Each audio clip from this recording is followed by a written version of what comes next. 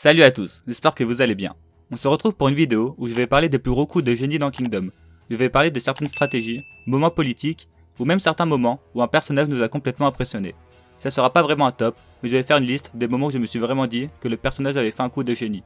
Pour commencer, on a Seitaku, qui durant l'arc de la coalition arrive à convaincre le roi de Ki de se retirer. Pour remettre un peu de contexte, tous les états ont formé une coalition dans le but d'anéantir Kin. Shuai-kun demande donc à Seitaku d'essayer de convaincre le roi de Ki de quitter la coalition. Il réussit sa mission avec brio, et grâce à lui, Qin aura 50 000 soldats en moins à combattre. Et la coalition aura aussi une pression dans le dos, car Qi pourrait les prendre à revers. On a ensuite Hussein, durant l'invasion de Zhao, qui a la brillante idée de ne pas attaquer directement la ville de Gyu, mais de prendre toutes les villes aux alentours, et de confisquer tous les vivres aux habitants, et de leur dire d'immigrer à Gyu. Il y eut alors des milliers de gens qui arrivèrent dans la ville, car le seigneur de Gyu laissa ses portes ouvertes. Hussein savait que la plus grosse faiblesse de l'armée de Qin était sa nourriture, il réussit à retourner la situation et créer le même problème à son adversaire pour que la bataille devienne une course d'endurance aux vivres. On apprit ensuite que Hussein avait caché certains soldats dans les habitants immigrés pour qu'ils puissent brûler les réserves de nourriture depuis l'intérieur de la ville. Grâce à cela, la moitié des vivres de Gyu ont été brûlés. Dans la même continuité, on a encore Hussein qui nous montre qu'il prévoit tout à l'avance. Il prévient Shuai-kun, avant même le début de la bataille, de lui faire envoyer des vivres par l'ouest grâce à Ki, car il avait anticipé que Zhao allait anticiper qu'Hussein allait passer par le fleuve jaune, mais ce n'était qu'un appât, pour pas que les soldats de Zhao se doutent qu'il allait se servir de Ki pour se réapprovisionner.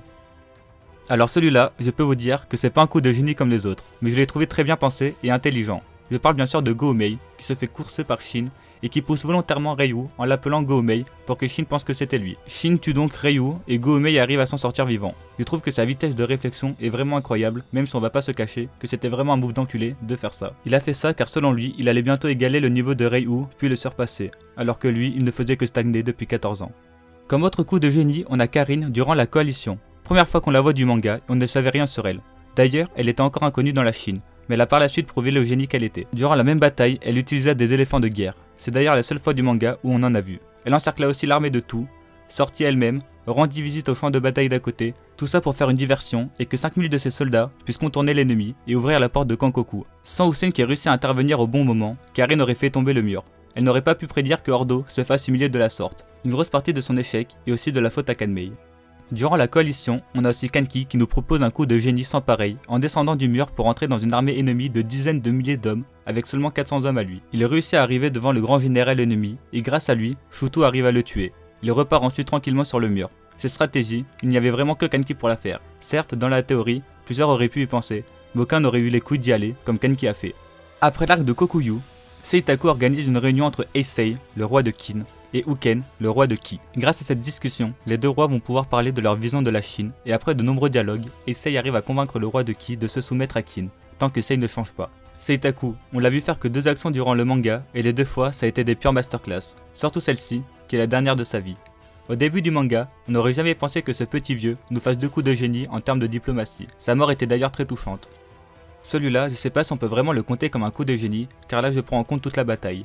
Je veux parler de la défense de la ville de Sai, et plus particulièrement de la performance incroyable que Sei nous a proposée en tant que leader et orateur. Il arrive à nous sortir l'un des plus beaux discours de Kingdom, alors que la situation est désespérée. Il arrive à tenir la ville, grâce à cela, pendant 7 jours, alors que de base, elle ne devait pas en durer plus de 2. Je ne vais pas rentrer dans les détails de cette bataille, mais je considère que ce qu'a fait Issei est un coup de génie.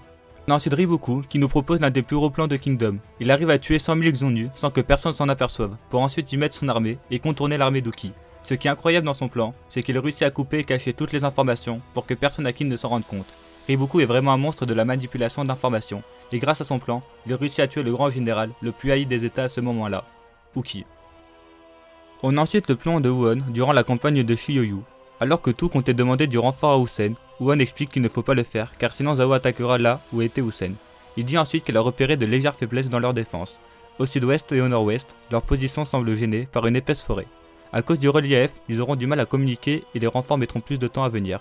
Il conclut alors que pour prendre la région, il faut que les trois armées réussissent à prendre les lignes ennemies face à elles lorsque le soleil aura atteint son zénith le troisième jour. Il explique aussi que ce sera son armée, l'Aishin et celle de Rokumi qui prendront les trois points importants, et que l'armée de tout servira d'appât car c'est celle qui attire le plus l'attention. Et pour finir, on va parler d'un coup de génie de Ten, son seul coup de génie d'ailleurs quand on y pense. Lors de l'arc Kokuyu, l'unité Aishin a pour mission de passer un fleuve, et pour cela, Ten va réussir à trouver un plan. Ce plan repose en particulier sur N, qui va contourner le fleuve et aller à l'endroit où le courant est le plus fort, car il n'y a aucune surveillance là-bas, puis de prendre les soldats par derrière. Pour cela, Shin et les meilleurs soldats de l'unité vont devoir servir d'appât à passer en plein milieu du fleuve et se faire cibler de flèches. Mais au final, le plan fonctionne et permet à toute l'unité Aishin de traverser le fleuve. Il y a énormément de coups de génie dans Kingdom, et j'ai pas voulu tous les citer. Je ferai sans doute un épisode 2 si la vidéo vous plaît. Dites-moi en commentaire quels sont pour vous les plus grands coups de génie de Kingdom, et si vous êtes chaud pour un épisode 2. Si la vidéo vous a plu, likez et abonnez-vous. Sur ce, au revoir.